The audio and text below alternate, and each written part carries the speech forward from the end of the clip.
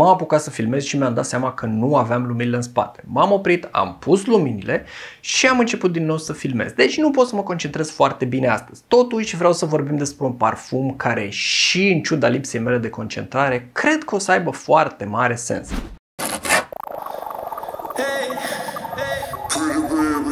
iar parfumul se numește Armani Cod Absolu. Atunci când am făcut review-ul pentru Cod Profumo, multă lume mi-a spus că ar trebui să-l încerc pe Absolu și exact asta am făcut. M-am dus, l-am cumpărat și de câteva săptămâni îl tot port.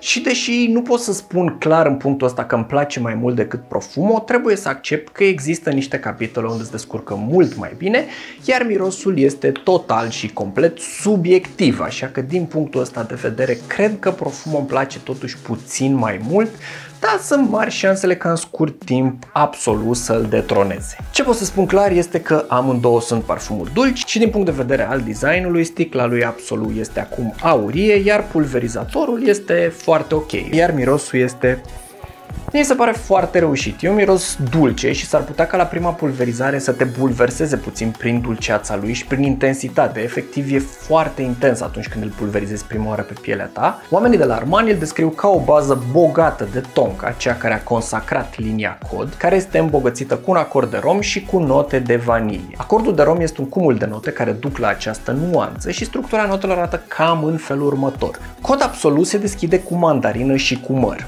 În inimă are nucșoară, muguri de portocale și semințe de morcov, WhatsApp dac și la bazare tonka, vanilie, piele întoarsă și note lemnoase. Așa că vezi aici că ai de face cu un cod, codul ceață mult mai asumat. Pleci de la ADN-ul cod obișnuit, doar că acum el e foarte hotărât în a fi cel mai dulce din linie. Mie așa mi se pare cel puțin, mi se pare cel mai dulce, dar pe de altă parte mi se pare și cel mai puternic și cel mai persistent. Dar n-am ajuns încă acolo. Hai să spun exact cum îl percep eu. Pe pielea mea, la început, când îl pulverizez, se deschide foarte dulce, ușor fructat și cu nuanțe ale acordului de rom de care îți spuneam. Așa că ai de face cu o deschidere foarte puternică din punctul meu de vedere, fructată, dar în zona dulce. Adică nu te aștepta la genul de deschidere fresh pe care ai găsit eu, de exemplu, un Ero, să simți mărul așa suculent. E mai degrabă un măr dulce, combinat cu vanilie. Pe tot parcursul său, mirosul este dominat de tonca, vanilie și acordul de piele care e în fundal asociat cu lemnul, care îi dau mai multă profunzime. Deci ai de face cu un parfum care nu își dorește să fie altceva decât dulce și care se manifestă pe pielea ta în modul ăsta. E clar că e ceva mai efervescent un pic deschiderea datorită fructelor, dar apoi se potolește și la nivelul pielii rămâne un miros foarte plăcut, dulce, care te însoțește foarte mult timp. Combinația de vanilie cu tonka, pe care încep să o simți pe piele aproape exclusiv, după să zicem jumătate de oră, o oră, mă duce cumva cu gândul la o zonă gurmandă, mă duce cu gândul la niște prăjituri bogate în vanilie, niște prăjituri efectiv delicioase. Nu trece în zona gurmandă, nu te face să te gândești ca uomo de la Ferragamo la un tiramisu, nu, te face să te gândești la niște lucruri dulci, dar ca senzație, n-ai impresia că e o prăjitură în față. Parfumul ăsta are pentru mine un vibe de cofetărie în care se servește și cafea, dar totuși fiind mai serios de atât și în caz de nevoie putând să fie și un pic mai serios și mai elegant. Tot ce încerc să spun este că Armani Code Absolut creează o întreagă imagine în mintea mea pe parcursul purtării. Nu este pur și simplu un parfum dulce sau pur și simplu încă un cod este un cod cu multă personalitate din punctul meu de vedere. E adevărat că e foarte dulce, e adevărat că e clar îndreptat spre vremea rece și e adevărat că va fi pe placul oamenilor care iubesc parfumurile dulci, dar mai departe de atât spune o poveste. Poate să creezi o imagine atunci când îl pulverizezi, nu e pur și simplu, mm, da, me, sunt dulce. Da, bine, poate că duc eu lucrurile prea departe, dar asta se întâmplă. Mi se pare că parfumul ăsta spune o poveste și spune o poveste relaxată, plăcută. Nu te face să te gândești că trebuie neapărat acum să te braci în costum, că trebuie să te duci să-ți cumperi o altă mașină, că trebuie să te duci să cumperi o companie. Nu, e un parfum care îți spune că astăzi trecem pe la cofetărie, astăzi ne putem relaxa și în tot timpul ăsta o să mirosim dulce și bine.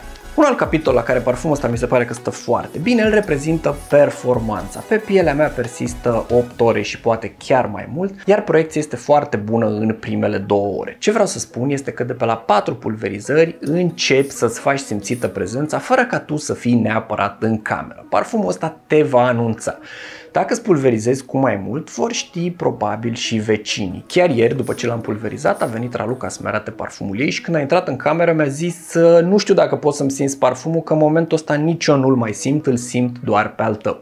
Așadar, dacă ești în căutarea unui parfum care să fie beast mode, E bine, Armani Code Absolut e parfumul care să facă asta. Nu mă înțelege greșit, nu se duce atât de departe cum era Black Afghano, pe care îl foloseai să știe tot cartierul cu ce parfum ești dat. Totuși acest parfum poate lejer să umple o cameră fără să se chinuie prea mult, așa că din punct de vedere al persistenței, proiecției și gălăgiei, e o opțiune extrem de bună. Așa că în perioada rece și în locurile în care vrei să te faci remarcat prin parfumul tău, cred că ar trebui să-l iei pe cod absolut în calcul. În ceea ce privește locurile și momentele în care le-ai purta, cred că iarna, toamna și primăvara cât încă nu e foarte cald, ar fi opțiunile înțelepte. Vara cred că toată vanilia combinată cu tonca și toată gălăgia asta ar putea să-ți provoace atât ție cât și celor din jur o mare durere de cap. Să nu uităm totuși că avem de face cu un parfum gălăgios și foarte dulce. Acum, din punct de vedere al ținutelor, n-aș spune că e chiar un parfum de birou, da, ce știu eu, adică în mod real poți să-l folosești la birou cât timp nu-ți pulverizezi foarte mult. Dată fiind natura sa relaxată, aș spune că e un parfum ok de ținută casual, aș spune că e un parfum clar ok de întâlniri romantice, aș spune că e un parfum foarte ok de ieșiri și în cele din urmă, deși mi se pare un pic cam prea gurmand și poate un pic relaxant, cred că îl poți purta și la evenimente la care te îmbraci mai elegant, deși eu nu cred că ar fi prima mea opțiune. Totuși face o treabă bună, totuși mi se pare că are destul de multă personalitate, dar s-ar putea ca proiecția lui să fie un pic cam prea mult și să atragă prea mult atenția asupra ta. Pe de altă parte, dacă asta îți dorești, dacă îți dorești ca parfumul să te facă remarcat, cod absolut clar e o opțiune bună. Și după toate aceste lucruri, mă gândesc că te aștepți la faptul că parfumul aduce și multe complimente. În primul rând că structura lui e foarte ușor de înțeles și îndrăgit. Și cum Armani Code a fost întotdeauna un parfum care a adus complimente și care era în topul parfumurilor pe care lumea le îndrăgește, Cod absolut nu deviază niciun fel de la aceste rezultate. Mai mult decât atât, dat fiind faptul că e foarte persistent și proiecția este foarte puternică, lumea îl simte. Îți vor spune probabil că miroși foarte bine dacă nu au o problemă cu parfumurile dulci, cert e că parfumul atrage atenție și atrage și reacție, așa că pentru oamenii care nu au o problemă cu parfumurile dulci, va aduce o mulțime de complimente. Mă mai întreabă lumea pe TikTok de parfumuri gălăgioase care întorc priviri și aduc complimente. Din linia cod, cred că ăsta e cel mai gălăgios, cel mai ușor de remarcat și din acest motiv cel care aduce și cele mai multe complimente. Prețul său este exact acolo unde te aștepta pentru un parfum din gama cod, ceea ce înseamnă că pentru 110 ml pe Notino vei da undeva în jurul la 330 de lei. 327 astăzi când filmez. Ceea ce nu-l face un parfum ieftin, dar nici extraordinar de scump pentru ceea ce oferă. Și deși în general la prețurile astea nu recomand parfumurile ca Blind Buy, dacă îți plac parfumurile dulci, cred că e o alegere bună chiar dacă e la un preț mai ridicat. În principiu, ca parfum dulce echilibrat, dacă are să fie asumat dulce, nu cred că găsești o opțiune mai bună. Îl comparam ceva mai devreme cu Carolina Herrera Bad Boy și mi se pare că are performanțe mult mai bune, miroase mai bine și cu toate astea este considerabil mai ieftin, adică aproape cu 100 de lei mai ieftin pentru o cantitate asemănătoare. Așa că da, dacă vrei să le iei pe cod absolut, mi se pare că e o alegere bună ca raport calitate-preț. Și de asemenea, dacă ai vrea să ai un singur parfum dulce pentru vreme rece, cred că ăsta ar fi pentru că performanțele sale nu sunt deloc rele și mirosul, repet, este foarte asumat în direcția asta dulce. Acestea fiind spuse, încerc încă să-mi dau seama dacă îl prefer pe absolut sau profumo. Mi se pare că profumo este un pic mai elegant, dar la toate celelalte capitole Absolut stă mai bine. Acum sunt curios care este părerea ta, pe care l-ai preferat, pe Absolut sau pe Profum? Și cu asta se încheie review-ul meu pentru Armani Cod Absolut. Dacă ai parfumul, spunem ce părere ai și tu despre el. Dacă nu, recomandăm altul pentru vremea rece, din zona asta dulce, poate chiar gurmand. Fiecare like, fiecare share, fiecare subscribe toate ajută acest canal să crească și să ajungă la cât mai mulți oameni pasionați de parfumuri. Eu îți mulțumesc că ai fost din nou alături de mine și ne vedem în videoul următor.